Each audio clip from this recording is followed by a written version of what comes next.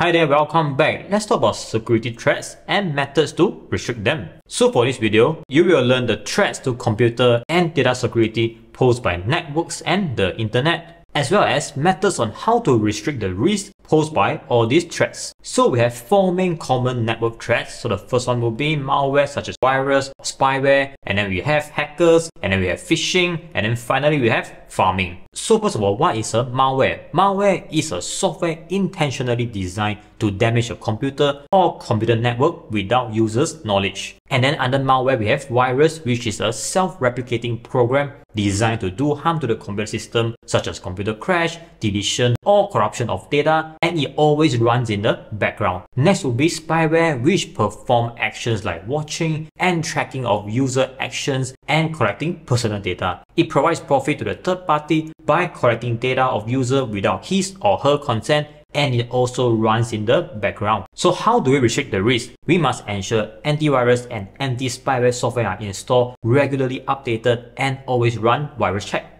Next will be hackers. So who is a hacker? A hacker is a person who gains unauthorized access to a computer system with intent to either do harm to the system, such as shutting down the system, or gather data from the system, such as gathering payment card data of customers. So to restrict the hacker's risk, we are encouraged to use strong password and enable firewall. Okay, the next threat is phishing. So what is phishing? Phishing is sending of an email to an individual with the appearance that it has come from a reputable company known to the recipient. So it means that you'll be getting all these fake emails from all these people acting as your school or even acting as your bank. And the email will contain a link that directs the user to a bogus website designed to capture personal information that can later be fraudulently used. So how do you restrict the risk? You should ignore suspicious emails and ensure email providers have spam filters, blacklists, and etc. And next, do not click on links in the email unless certain that it is safe to do so. So most of the time for my use case, when I get a suspicious email, what I will do is I will actually check the email address. If the email address looks suspicious, I will just delete the email. And lastly will be pharming. So what is pharming? Pharming is malicious code installed on a user's computer or on a web server which redirects user to a fake website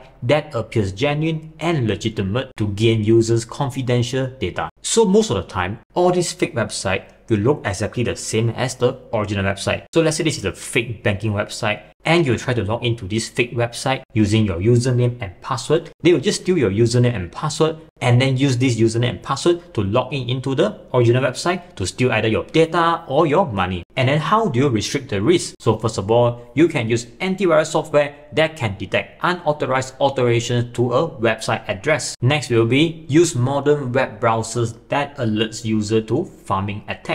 You can always check the spelling of website to make sure that it matches the original website address. And then you also can check for HTTPS and the green padlock symbol in the address bar. So these are the four main network threats. I hope you learned something new from this video. Thank you and I'll see you again then. Bye bye.